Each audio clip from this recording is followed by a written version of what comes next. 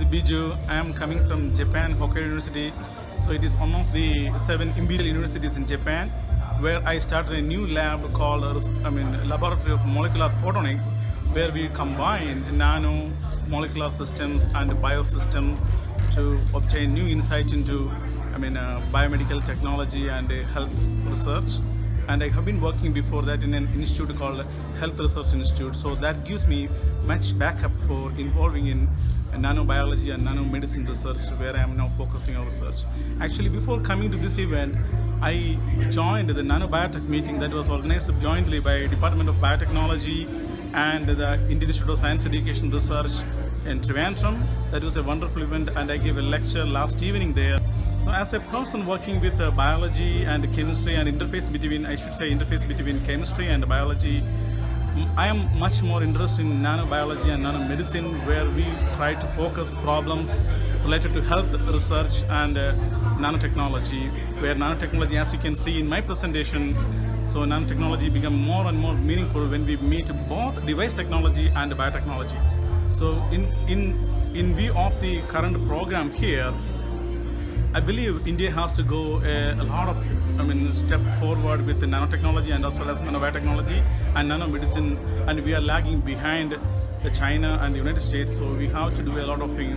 So we have, I know that we have limitations with infrastructure, funding, and other limitations like uh, the population and the healthcare. I mean, the, the increasing population, and then a great demand on health investment in the health field and biomedical field. Therefore, it's very important. I mean, of course, it's very important to invest in biomedical technology. And as you know that uh, the great medical, uh, great physician, Dr. Osler said, one of the first duties of physicians is to, I mean, teach or educate the masses not to take medicine, but we are now going with the nanomedicine by combining nanotechnology with the medical technology and uh, my biomaterials. So it's very important to know what is the difference between nanotechnology and nanobiotechnology, which I'm going to talk here.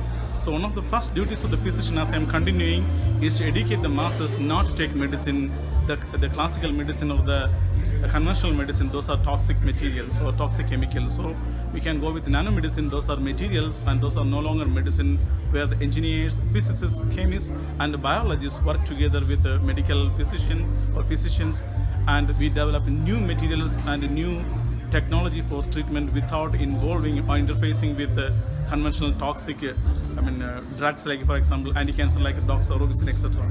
So that is my view. So we have to go much forward to catch up with the rest of the world, in particular our neighbor, China, the mainland China, and also other developed countries. So we, the young generation, and my message to this uh, meeting is that the young generation has to come up to an interface between chemistry, biology, material science, physics, and medical science, then only this, I mean, nanotechnology become fruitful and meaningful for the future India to build the future healthcare, technology, and the future India.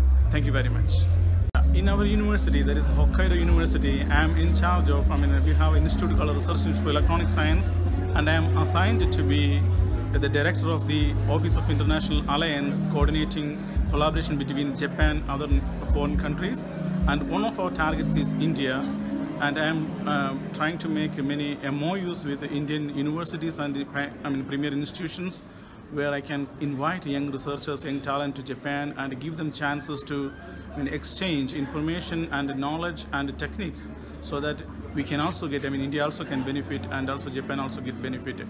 And recently, in view of this uh, Indo-Japan relations, we got a big project funded by the Japanese government, that is Japanese Society for Promotion of Science, exclusively for Hokkaido University to collaborate with three IITs, that is IIT B, IIT C Chennai, and IIT Hyderabad. And it's a 500 million project for inviting young researchers and students from three IITs to Hokkaido University and sending some students to uh, the IITs in, uh, in India